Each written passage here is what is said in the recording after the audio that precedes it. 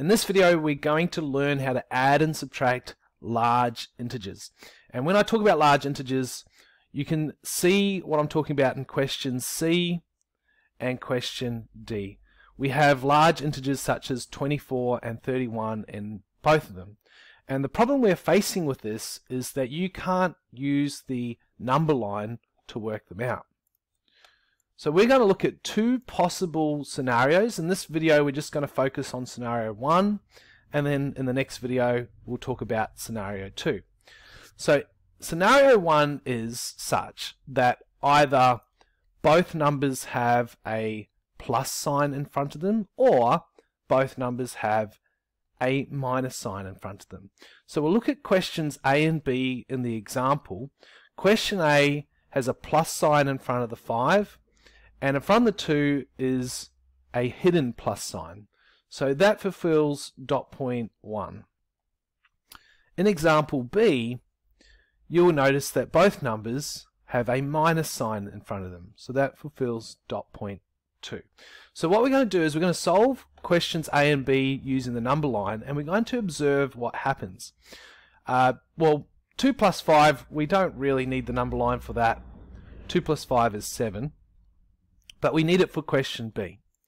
So it tells us to start at negative 2 and to subtract 5. Subtract meaning go to the left. 1, 2, 3, 4, 5. Landing on negative 7. So that equals negative 7. Now, let's make some observations here. When we look at questions A and B, they both use the exact same numbers. They both had a 2 and a 5, except in one case they had the plus symbol in front of them, and in the other case they had the minus symbol in front of them.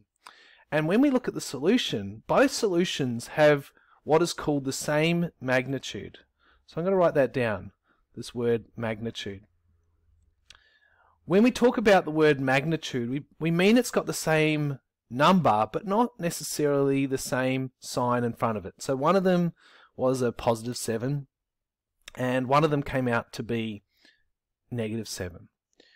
And we can see when we did question B, we could have quite easily just said 2 plus 5 is 7 and put the negative symbol in front of it.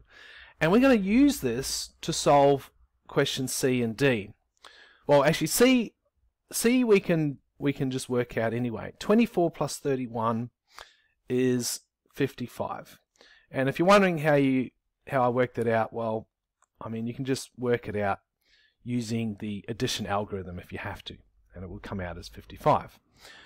Which means that question D would have the same magnitude of 55, and we know that because it's got the exact same numbers as question C.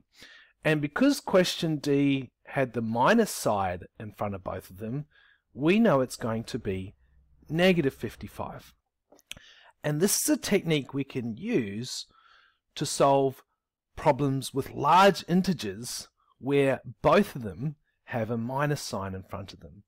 And that concludes our video on scenario 1.